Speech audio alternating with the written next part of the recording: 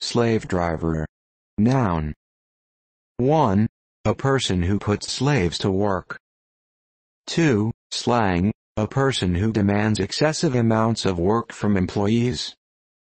For example, he's such a slave driver. I can't believe he wants us to come in on Saturday.